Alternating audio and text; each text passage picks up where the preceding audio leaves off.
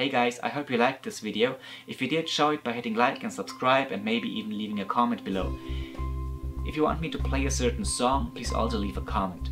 So, see you next time!